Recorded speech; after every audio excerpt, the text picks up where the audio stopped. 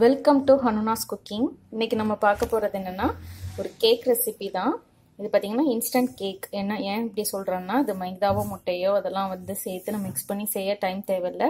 சட்டுன்னு செஞ்சிடலாம். Biscuits use பண்ணி தான் நான் இன்னைக்கு இந்த கேக் செஞ்சுருக்கேன். இந்த கேக் எப்படி செய்யலாம் இதுக்கு என்னென்ன தேவைன்றதை நம்ம பார்க்கலாம் வாங்க.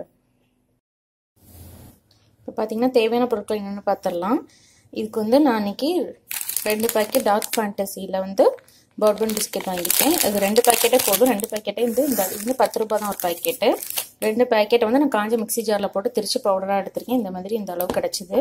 இப்போ பார்த்தீங்கன்னா இது ஸ்வீட் சாக்லேட் மேலே டாப்பிங்க்கு நீங்கள் வந்து டார்க் சாக்லேட் கிடைச்சாலும் வாங்கிக்கலாம். அப்படின்னா அதுக்கு சுகர் ஆட் பண்ணணும். இதுக்கு சுகர் தேவையில்லை. இது பார்த்தீங்கன்னா மில்க் மைட் வந்து ரெண்டு டேபிள் ஸ்பூன் எடுத்திருக்கேன். இது பார்த்தீங்கன்னா உங்களுக்கு ஆப்ஷனல் தான். வேணும்னா சேர்த்துக்கலாம் இல்லைன்னா தேவையில்லை. வீட்டில் இருந்தால் ரெண்டு ஸ்பூன் சேர்த்துக்கோங்க. ஜஸ்ட் ஒரு ஸ்வீட் ஒரு டேஸ்ட்டுக்காக தான். இது வந்து வெனிலா எசன்ஸ். அது வந்து நான் ஒரு கால் டீஸ்பூன் எடுத்திருக்கேன். ஒரு அஞ்சாறு ட்ராப்ஸ் இருக்கும். இது வந்து இதுவும் ஆப்ஷனல் இது ஏன்னா பிஸ்கெட்டில் இருக்கக்கூடிய அந்த ஸ்மெல்லே உங்களுக்கு பிடிக்கும்னா போதும். இது இருந்தால் சேர்த்துக்கோங்க நல்லாயிருக்கும் ஃப்ளேவர் மிக்ஸ் பண்ணுறதுக்கு வந்து பால் இது. காய்ச்சி ஆற வச்ச பால் எடுத்திருக்கேன். இதை வந்து எப்படி மிக்ஸ் பண்ணலான்னு பார்த்துடலாம் இப்போ பாருங்கள் மிக்சிங் பவுலில் நான் வந்து இந்த பிஸ்கெட்டை திருச்சி வச்ச பிஸ்கெட்டையும் சேர்த்துட்டு மில்க் மேடையும் சேர்த்துருக்கேன். இப்போ மிக்ஸ் பண்ணி விட்டுக்கலாம். இப்போ கொஞ்சம் கொஞ்சமாக பால் சேர்த்து இதை மிக்ஸ் பண்ணிக்கணும். இப்போ பாருங்கள் நல்லா மிக்ஸ் பண்ணியாச்சு. இந்த மாதிரி இருக்கணும். கரைச்சதுக்கப்புறம் இந்த கன்சிஸ்டன்சியில் இருக்கணும். ரொம்ப கெட்டியாக இருக்கக்கூடாது. அப்புறமா கேக் ஹார்ட் ஆகிடும் இந்த மாதிரி இருந்தால் நல்லா சாஃப்டாகும் பாருங்கள் அரை டம்ளர் பால் தான் வந்து நான் யூஸ் பண்ணியிருக்கேன். ஒரு டம்ளர் பால் எடுத்து அரை டம்ளர் தான் தேவைப்பட்டுச்சு. ரெண்டு பிஸ்கெட் பாக்கெட்டுக்கு.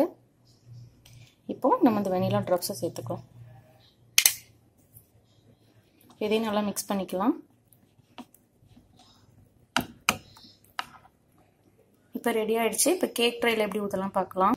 இப்போ பார்த்தீங்கன்னா கேக் ட்ரேயில் வந்து நான் வந்து பட்டரை மெல்ட் பண்ணி இந்த மாதிரி சேர்த்துருக்கேன். பட்டர் இல்லைன்னா நீங்கள் நார்மல் குக்கிங் ஆயில் கூட ஒரு ஸ்பூன் ஊற்றி இந்த மாதிரி நல்லா அதை வந்து க்ரீஸ் பண்ணிக்கோங்க அந்த ட்ரையை நல்லா சுற்றி க்ரீஸ் பண்ணிட்டீங்கன்னா தான் கேக் வந்து அப்படி ஒட்டாமல் வரும்.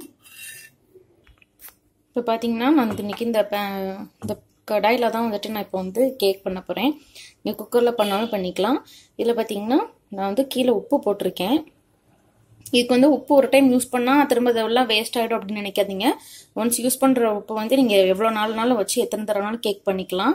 இது நான் வந்து நிறைய டைம்ஸ் இந்த இந்த சால்ட்டில் தான் கேக் பண்ணியிருக்கேன். இப்போ அந்த உப்பை வந்து கீழே போட்டுட்டு அதுக்கு மேலே இந்த மாதிரி ஒரு ஸ்டாண்டு போட்டிருக்கேன். அதுக்கு மேலே தான் இந்த ட்ரே வைக்கணும். இப்போ நான் வந்து ஆல்ரெடி ஒரு பத்து நிமிஷம் அடுப்பை வந்து மீடியம் ஃப்ளேமில் வச்சுருக்கேன். சூடாகிட்டு இருக்குது இப்போ க்ரீஸ் பண்ண கேக் ட்ரேயில் இந்த மிக்சர் வந்து சேர்த்துக்கலாம்.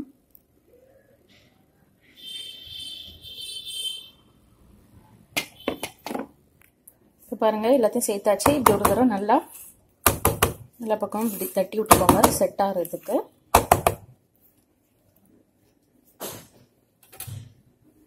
இப்போ நான் வந்து இதை அதில் வைக்க போகிறேன்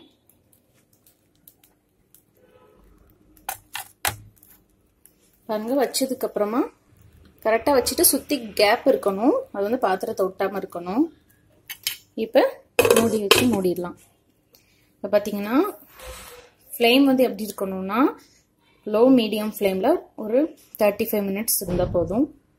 நல்லா வெந்துடும் ரெடி ஆனதுக்கப்புறம் இதை காட்டுறேன். இப்போ இந்த கேக் ரெடி ஆகிறதுக்குள்ளே நம்ம சாக்லேட் மெல்ட் பண்ணிக்கலாம். இது எப்படின்னா டபுள் பாய்லர் மெத்தடில் பண்ண போகிறேன் இப்போ பார்த்தீங்கன்னா இந்த பாத்திரத்தில் கீழே கொஞ்சம் தண்ணி வச்சுருக்கேன். அதுக்குள்ளே இப்படி அடங்குற மாதிரி ஒரு பாத்திரம் வச்சுக்கோங்க. வச்சுட்டு இந்த சாக்லேட்ஸ் வந்து அதில் சேர்த்துட்டு நம்ம அடுப்பில் வச்சு இது கொதிக்க கொதிக்க இது வந்து உருகும். அப்போ நல்லா ஸ்பூன் வச்சு கலக்கிட்டோம்னா இது வந்து நல்லா மெல்ட் ஆகிடும் ஸ்பூன் வச்சு நல்லா அப்படி கிளறி விட்டுக்கிட்டே இருங்க. அப்படின்னா தான் அது வந்து ஒட்டாமல் வரும். இப்போ டபுள் பாய்லர் மெத்தட்னா நீங்கள் பயப்பட வேணால் அடியெலாம் பிடிக்காது. இப்போ இதை வந்து நான் மெல்ட் பண்ணிவிட்டு உங்களுக்கு காட்டுறேன். இப்போ பாருங்கள் இந்த மாதிரி மெல்ட் ஆகிருக்கு இப்போ நம்ம வந்து ஆஃப் பண்ணிக்கலாம். ஆஃப் பண்ணிவிட்டு நல்லா ஒரு தடவை ஸ்பூன் வச்சு நல்லா கிளறி விட்டு ஒன்று போல் ஆக்கிக்கிடலாம். இப்போ பாருங்கள் நல்லா இந்த மாதிரி ஆயிடுச்சு. இது லாஸ்ட் வந்து நம்ம கேக் மேலே ஸ்ப்ரெட் பண்ணிக்கலாம். இப்போ பார்த்தீங்கன்னா இது வந்து வேகிற டைமை விட செய்கிற டைம் ரொம்பவே கம்மி தாங்க ஈஸியாக செஞ்சிடலாம். இது வந்து நார்மலாக நம்ம மைதா அதெல்லாம் வந்து மிக்ஸ் பண்ணி தனித்தனியாக செய்கிறத விட இது கொஞ்சம் ஈஸியாக குழந்தைங்க கேட்டோன்னு செஞ்சு கொடுக்குறது கொஞ்சம் ஈஸியாக இருக்கும். ஸோ இதை கண்டிப்பாக ட்ரை பண்ணுங்கள் நார்மலாக நம்ம மைதா முட்டையெல்லாம் வச்சு செய்கிற cake vanilla flavour chocolate flavour அந்த வீடியோலாம் வந்து நான் கூடிய சீக்கிரமே வந்து அப்லோட் பண்ணுறேன் இப்போ இந்த இன்ஸ்டன்ட் கேக் வந்து எப்படி சீக்கிரம் ரெடி ஆகுதுன்னு பார்க்கலாம். இப்போ பார்த்தீங்கன்னா நல்லா பாருங்கள் மேலே எந்திரிச்சு இந்த மாதிரி கத்தி வச்சு குத்தி பார்த்தீங்கன்னா கத்தியில் எதுவும் ஒட்டாமல் வரணும். இப்படி வந்துச்சுன்னா கேக் வந்துருச்சுன்னு அர்த்தம். இப்போ நம்ம ஸ்டவ் ஆஃப் பண்ணிடலாம். இப்போ பார்த்தீங்கன்னா நான் எடுத்துட்டேன் அதுலேருந்து இப்போ நான் வந்து பிளேட்டுக்கு ட்ரான்ஸ்ஃபர் பண்ணிக்கிறேன். இப்போ பார்த்தீங்கன்னா கேக் வந்து மாற்றியாச்சு இப்போ வந்து நம்ம ஆல்ரெடி எடுத்து வச்சுருக்கோம்ல அந்த சாக்லேட்டு சாக்லேட் பேஸ்ட் வந்து மேலே ஸ்ப்ரெட் பண்ணிக்கலாம்.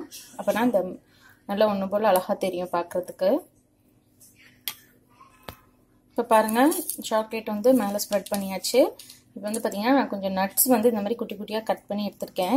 இது வந்து ஆப்ஷனல் தான் வேணால் சேர்த்துக்கலாம். நம்ம குழந்தைங்களுக்கு கொடுக்கும்போது இந்த மாதிரி மேலே நட்ஸ் போட்டோம்னா அவங்க இது கேக்கோட சேர்த்து சாப்பிட்ருவாங்க அது ரொம்ப நல்லது கூட உடம்புக்கு.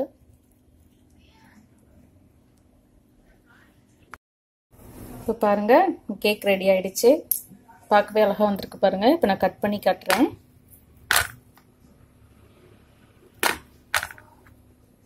பாருங்கள் இவ்வளோ சாஃப்டாக இருக்குங்க. பாருங்கள் நல்லா சாஃப்டாக இருக்குது டேஸ்ட் ரொம்ப சூப்பராக இருக்குங்க. ரொம்ப சாஃப்டாக டேஸ்ட்டாக நல்லா இருக்கு. கண்டிப்பாக அதை நீங்கள் வந்து வீட்டில் ட்ரை பண்ணி பாருங்கள் இந்த வீடியோ பிடிச்சிருந்தா லைக் பண்ணுங்கள் ஷேர் பண்ணுங்கள் கமெண்ட் பண்ணுங்கள் நான் சொன்ன மாதிரி சீக்கிரமே நான் வந்து வெனிலா கேக்கும் சாக்லேட் கேக்கும் மைதா மாவு முட்டையெல்லாம் யூஸ் பண்ணி எப்படி பண்ணலான்ற வீடியோ அப்லோட் பண்ணுறேன் மறக்காமல் சேனலுக்கு சப்ஸ்கிரைப் பண்ணுங்கள் தேங்க்யூ